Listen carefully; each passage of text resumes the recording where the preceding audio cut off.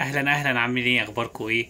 آه، حلقة جديدة من حكاوي أولياء أمور لاعبي الجمباز. إحنا في الفترة الجاية إن شاء الله بإذن الله هنبتدي نعمل فيديوهات إحنا نجاوب على أسئلتكم. أنا بالنسبة لي في حكاوي أمور الجمباز هجاوب على أسئلة بحكم خبرتي في, في لعبة الجمباز.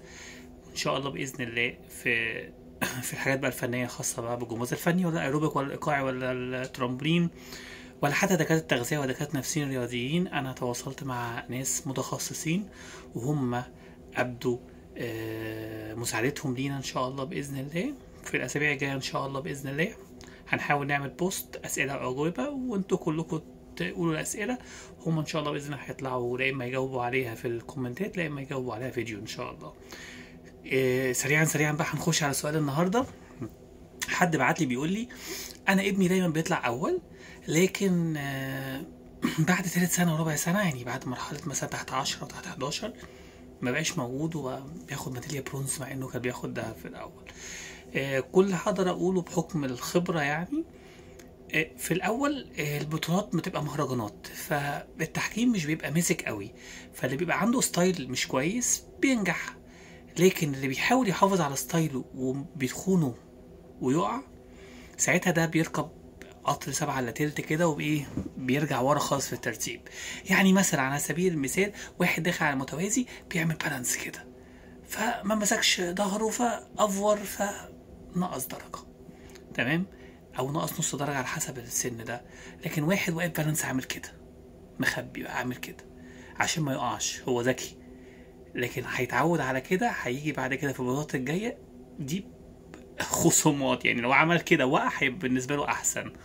طب واحد في الفلانكات بيروح إيه فاتح فلانكة فاتح جسمه قوي.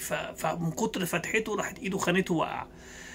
ده برضو ما بقاش حلو. بقى مين الحلو؟ اللي هو بيعمل فلانكة كده وتاني ركبه وكابوريا كده ومعدي وقصة كلها بس المهم هو عدى والدنيا. فده بيتخيلوا مثلا ممكن ياخد درجة أكتر منه. فبالتالي اللي بيحافظ على style ه في الفترة الصغيرة دي أو في فترة ثلاث سنين أوائل أقع زي ما أنت عايز. أنا دايما أقول للناس أقعوا حافظوا على ال style أقعوا اعملوا زاوية شدوا ركابكم آه، بص أقعوا. لكن طالما أنت اتعلمت صح ما هو الفكرة كلها إحنا الجمباز من وجهة نظري كده عاملة زي البازل تمام؟ آه، لازم تك- تتكون صح. أنا فاهم قصدي؟ مكعبات كده فوق بعضها لو ال base ما كانش صح كله هيترتب عليه بقى مش صح والحركات هتبقى حركات combination متراكبة على بعضها. فبالتالي لو حركة أولى ما طلعتش صح 100% الحركة التانية مش هتطلع صح. ولو الحركة التالتة مش هتنفع تتعمل أساسا. فأنا اديتكم بس مثال عن عن جهاز المتوازي مثلا وجهاز آه، حصان الحلق. على أساس أقول لكم في السن الصغير ده ساعات الستايل ما بيفرقش لكن في السن الكبير بيفرق وبيفرق كتير قوي.